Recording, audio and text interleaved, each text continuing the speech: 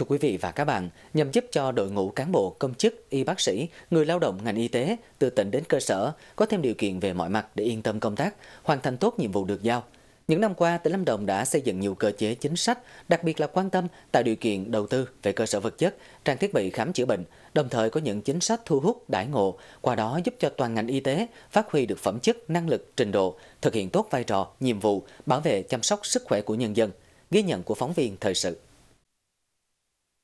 có chứng kiến một ngày làm việc tại khoa hồi sức tích cực chống độc tại Bệnh viện Đa khoa Lâm Đồng mới cảm nhận được mức độ làm việc liên tục và vất vả của những cán bộ y tế nơi đây.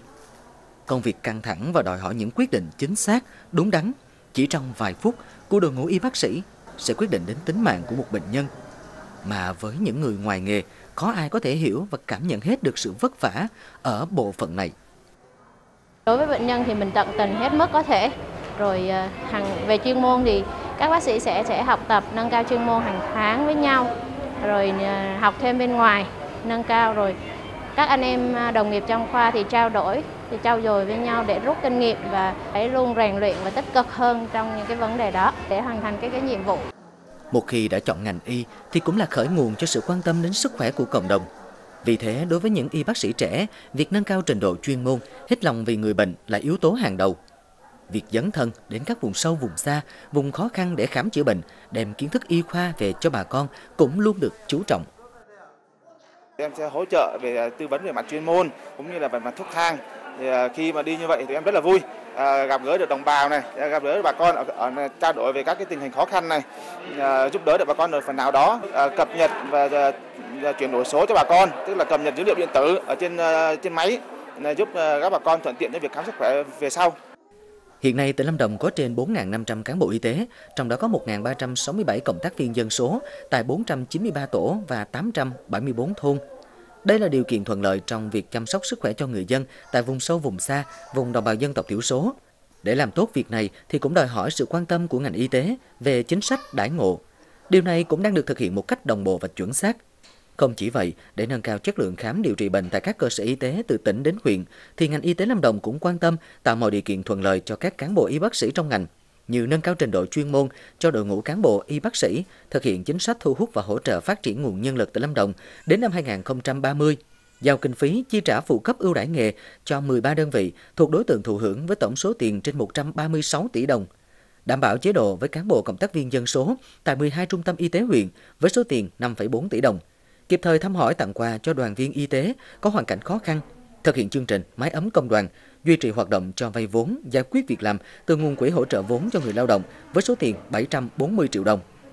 Sở Y tế đã ban hành kế hoạch củng cố hoàn thiện, nâng cao chất lượng hoạt động của y tế cơ sở trong tình hình mới với mục tiêu hoàn thiện mô hình tổ chức, quản lý, đầu tư cơ sở vật chất, thiết bị y tế, phát triển chuyên môn kỹ thuật cho tuyến y tế cơ sở. Hiện nay Sở Y tế cũng đã đang phối hợp với Sở Nội vụ thực hiện cái nghị quyết của Ủy ban Nhân dân về cái vấn đề thu hút đối với lại cán bộ y tế về công tác tại tỉnh Lâm Đồng. Đó. Bên cạnh đó thì đối với lại các cái trường hợp như uh, y tế thôn bản, y tế thôn bản thì hiện nay là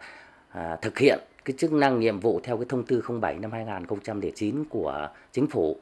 và được hưởng cái phụ cấp từ 0,3 đến 0,5 theo cái quyết định 75 của Thủ tướng Chính phủ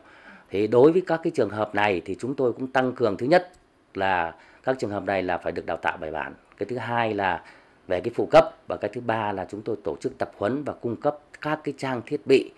tối thiểu để thực hiện ờ, đầy đủ cái chức năng của y tế thôn bản theo cái quy định của chính phủ. Đặc biệt là cái đội ngũ y bác sĩ trẻ mà về công tác tại các cái cơ sở trên địa bàn ngành của y tế tỉnh Lâm Đồng,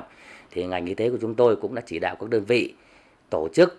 có là có những cái quy hoạch, có những cái xây dựng cái kế hoạch, cái vị trí việc làm để có cái kế hoạch tập huấn rồi đào tạo liên ờ, tiếp tục đào tạo nâng cao. Chẳng hạn như là bây giờ là đặt hàng hoặc hợp đồng với tất cả các cái trường đại học. Có thể nói, dù ở vai trò nào thì đâu đó cũng còn gặp những khó khăn và sai sót.